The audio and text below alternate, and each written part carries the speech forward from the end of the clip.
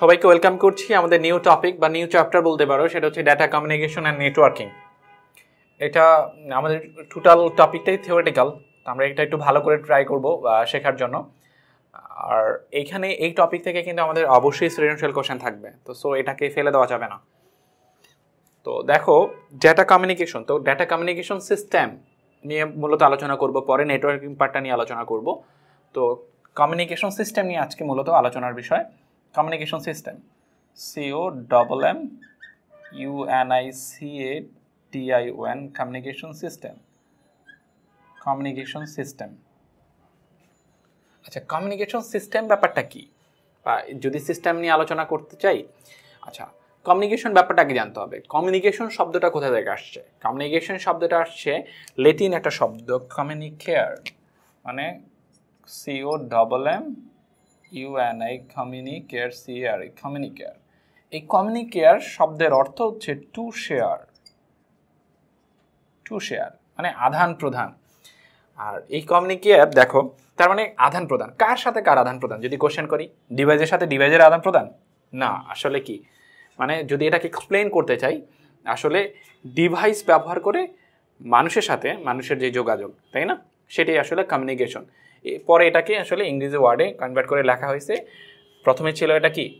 কমিউনিকেয়ার কমিউনিকেয়ার আসলে to share এখান থেকে আসলে আসছে communication C O double M communication এই ওয়ার্ডটা আসছে কমিউনিকেশন তার মানে কমিউনিকেশন শব্দটা হচ্ছে যে যন্ত্র ব্যবহার করে এক কম্পিউটার থেকে অন্য একটা কম্পিউটারে বা এক ডিভাইস হতে অন্য ডিভাইসে যে আমরা যোগাযোগ করি বা যে তথ্য আদান প্রদান করি সেটাকে আমরা বলব কি? কমিউনিকেশন যন্ত্র ব্যবহার করে বা ডিভাইস ব্যবহার করে বা কম্পিউটার ব্যবহার করে এক কম্পিউটার থেকে অন্য কম্পিউটারে যে তথ্যের আদান প্রদান সেটাই হচ্ছে একটা কমিউনিকেশন তাই না?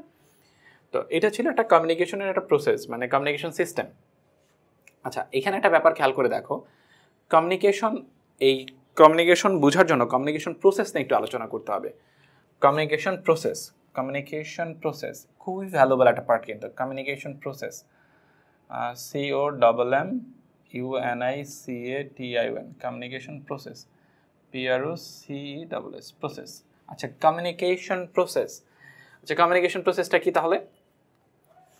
আচ্ছা কমিউনিকেশন প্রসেস হচ্ছে, দেখো, তুমি যখন কমিউনিকেশন করবা ডেটা এক জায়গা থেকে আরেক জায়গায় থ্রো করবা বা ডেটা পাঠাবা, তার জন্য তোমাকে কি করা লাগবে? তার জন্য তোমাকে আসলে ডেটা বলতে আমরা কি বুঝি আসলে? ফার্স্ট অফ অল ধরো, একটা মেসেজ তাই না? M E double S A G একটা মেসেজ তার মানে ডেটা পাঠানোর জন্য তোমাকে একটা মেসেজ রেডি করতে হবে। ধরো আমি তোমাকে যদি একটা এক্সাম্পল দিই, ধরো হচ্ছে তুমি কোনো একটা প্রতিষ্ঠানে কন্টিনিউ করো। কন্টিনিউ বলতে কোনো একটা প্রতিষ্ঠান থেকে তুমি শিক্ষা নিচ্ছ।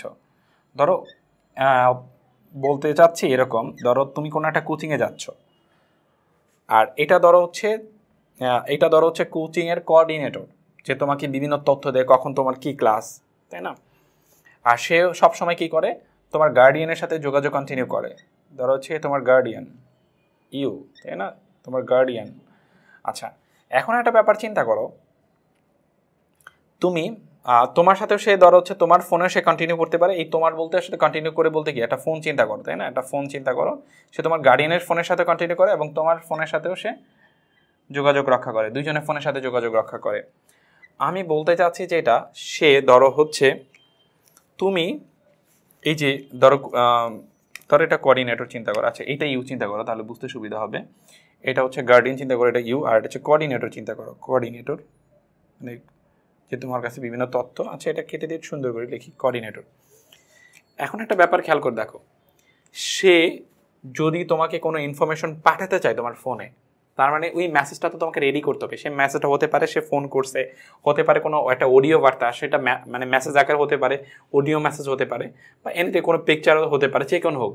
এই ক্ষেত্রে নয় পিকচার কথাটা খাটতেছে না, কিন্তু অন্য কোনো ক্ষেত্রে পিকচার হতে পারে কোনো একটা কমিউনিকেশনের জন্য।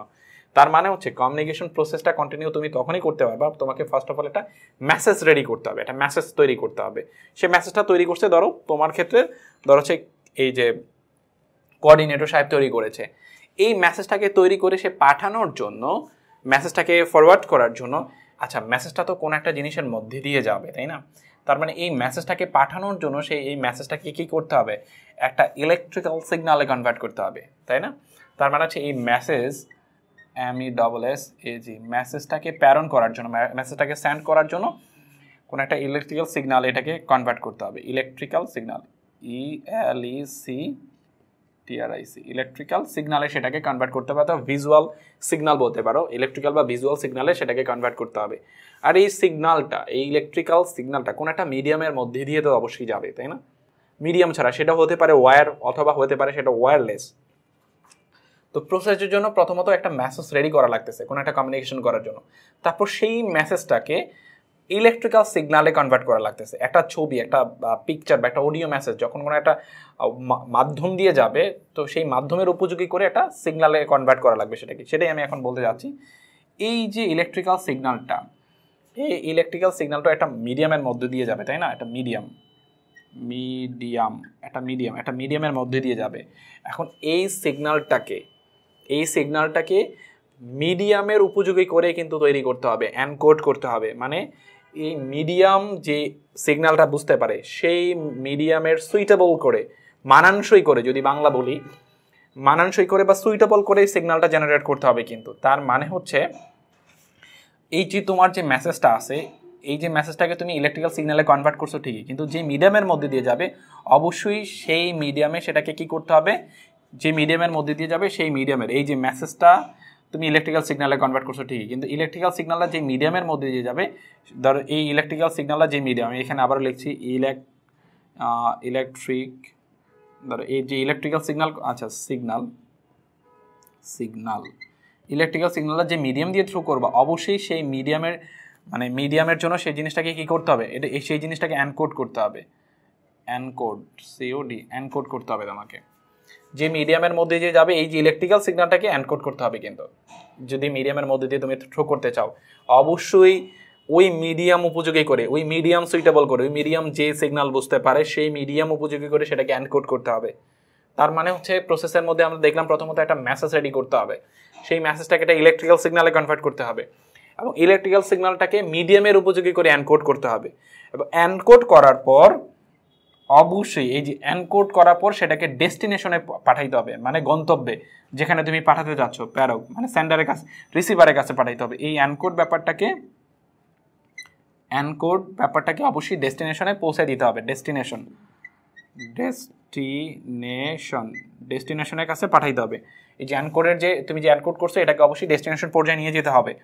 তারপর ডেস্টিনেশন পর্যায়ে যখন এটাকে যাবে, তখন সেটাকে কি করতে হবে? ডিকোড করতে হবে। হোয়াই আমরা ডিকোড কেন করতে যাচ্ছি? আচ্ছা তুমি যে জিনিসটাকে অ্যানকোড করে পাঠাইছো, মূল সিগনাল কি আর সেটা ছিল? তুমি যদি তাকে এখন ইলেকট্রিক্যাল সিগনাল দেখাও তার ফোনে বা তার কম্পিউটারে যে ডিভাইস ব্যবহার করে তোমার মেসেজটা দেখবে, তাহলে কি সেটা সে বুঝতে পারবে? এর কোনো মিনিং বুঝতে পারবে?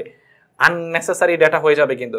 তার মানে অ্যানকোড জিনিসটাকে তুমি ডেস্টিনেশনে পাঠাইছো ঠিকই, কিন্তু সেটাকে আবার কি করতে হবে? সেটাকে আবার ডিকোড করতে হবে। তাই না? ডিকোড সিওডি ডিকোড করতে হবে। ডিকোড করে অরিজিনাল যে ডেটাটা সেটাকে ফিরায় নিয়ে আসতে হবে। তাই না? অরিজিনাল জি অরিজিনাল ডেটাটাকে রিটিভ করতে হবে। তার মানে ডিকোড করে অরিজিনাল ডেটাটাকে তোমাকে নিয়ে আসতে হবে। তাহলেই সে কিন্তু বুঝতে পারবে রিসিভার ব্যাপারটাকে বুঝতে পারবে। কিন্তু যখনই তুমি যখনই তুমি আসলে ডিকোড করবা, যখনই তুমি এই ডিকোড করে অরিজিনাল ডেটাটাকে রিটিভ করে নিয়ে আসবা একদম অ্যাকচুয়ালি অরিজিনাল ডেটা তুমি পাবা না। কিছু ডেটা এখান থেকে সিস্টেম থেকে লস হবে। আর লস হওয়ার ব্যাপারটা একদম মানে অনেক লস হওয়া যাবে না, যাতে একদম মূল ডেটা হারায় যায় এরকম হওয়া যাবে না আসলে। আর লসের ব্যাপারটা থাকবে খুবই চোখে ধরার মতো না, এমন একটা ব্যাপার থাকবে আসলে। তো মূল যে ব্যাপারটা আমরা বলতে পারি কমিউনিকেশন প্রসেস হচ্ছে আমাদের এই কটা স্টেপে সম্পূর্ণ হবে। প্রথমত একটা মেসেজ থাকবে, এই যে সে কী করবে? এই যে কোঅর্ডিনেটর সাহেব একটা মেসেজ তৈরি করবে। এই মেসেজটা করে সেটাকে একটা ইলেকট্রিক্যাল সিগনালে যে ওয়ার যে মাধ্যমে পাঠাবে, সে এটা ইলেকট্রিক্যাল সিগনালে সেটাকে কনভার্ট করবে। ইলেকট্রিক্যাল সিগনালটা এই যে, সে সেটাকে এগুলো কিন্তু ইন্টারনালি হয়ে যাবে, সে কিন্তু এগুলো দেখতে পাচ্ছে না। সে কী করছে, একটা মেসেজ রেডি করছে মেসেজ রেডি করে, হয় তোমার গার্ডিয়ানের কাছে পাঠাচ্ছে, না এই যে তোমার কাছে পাঠাচ্ছে।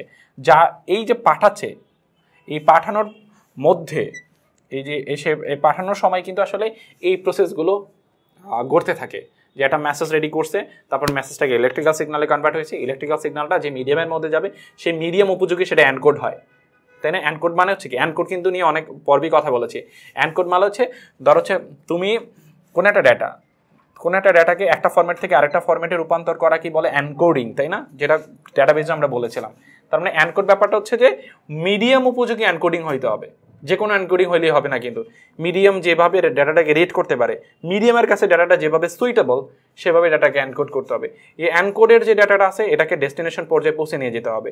তারপর ডেস্টিনেশন পর্যায়ে পৌঁছে নিলে হবে না, সেটাকে আবার ডিকোড করতে হবে। কারণ আমার মূল ডাটা আমার যে সিগনালে যে মিডিয়ামের মধ্যে দিয়ে আসছিল, সেটা হচ্ছে অ্যানকোডিং ডাটা আমাকে যদি ডাটাটাকে সঠিক ওয়েতে রিড করতে হয়, বুঝতে হয় এবং রিড করে যদি আমার এর মিনিং বুঝতে হয়, আমি কিন্তু অ্যানকোড ডেটার থেকে মিনিং বুঝতে পারব না। তার মানে এই জন্য আমাকে ডিকোডিং চালাইতে হবে ডিকোড করতে হবে। ডিকোড করলে আমি অরিজিনাল ডেটাটা পাবো। এটা হচ্ছে কমিউনিকেশন প্রসেস আই থিঙ্ক বুঝতে পারছ। এখানে আল্লাহ